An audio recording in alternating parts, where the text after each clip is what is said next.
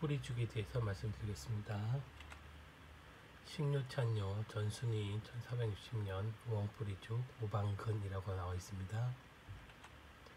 원문 시로임 중풍 구목순동 범민불안 우방근 거피절 일성 폭건 저위분 백미사압 정도연 이후 방분 화면 작박탁 내시집중자 가총초미 확도 공심식지 항복흑효 번역문 노인이 중풍으로 인해 입과 눈이 떨리고 답답해하면서 괴로워하며 불안한 것을 치료하려면 껍질을 벗기고 자른 우엉뿌리 한 대를 햇빛에 말린 다음 절구에 찧어 가루로 만들고 흰쌀 네업을 깨끗이 씻어 갈아둔다.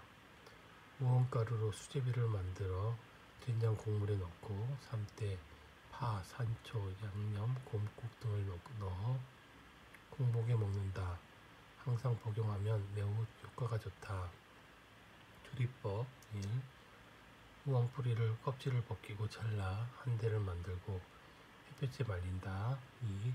말린 우엉을 절구에 찧어 가루로 만든다. 3. 흰쌀 네업을 씻고 간다. 4. 우엉 가루로 수제비를 만들어 된장 국물에 넣고 삶는다. 5. 파, 산초, 양념, 곰국 등을 넣는다. 조리기기는 절구입니다.